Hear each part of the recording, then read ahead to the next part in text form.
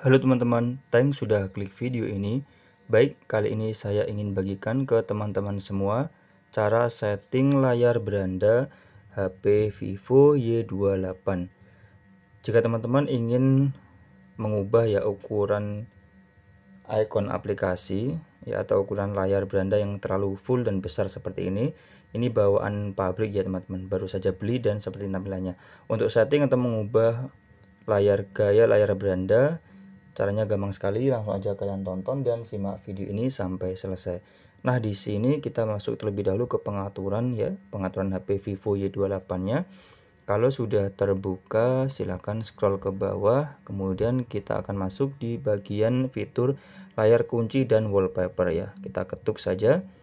Nah, selanjutnya kita pilih pengaturan beranda ya, kita klik. Nah, ini dia untuk tata letak terlebih dahulu kita atur ya. Tadi ikonnya sangat besar karena tadi settingannya adalah 4 kali 6 nah di sini kita ubah dari 4 kali 6 ke 5 kali 6 ya. Kita klik nah seperti ini kemudian terapkan. Nah jadi kalau saya terapkan maka akan tampil seperti ini ya teman-teman. Jadi tidak full di beranda ya aplikasinya. Nah seperti ini.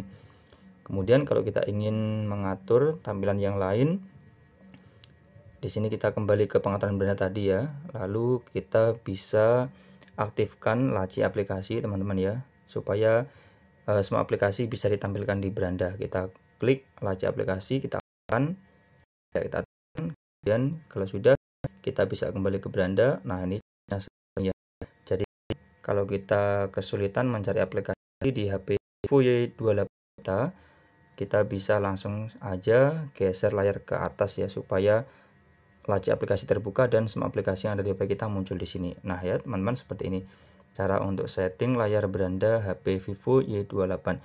Jika kalian sudah cocok dengan settingan seperti ini, tinggal kalian buka lagi tadi ya teman untuk layar kunci dan wallpaper lalu kita buka lagi pengaturan beranda dan kita bisa kunci tata letak ya ini bisa dikunci ya supaya uh, tata letak ini tidak dapat digeser-geser lagi ya seperti ini. Nah tidak bisa digeser-geser ya teman-teman. Tidak bisa diubah.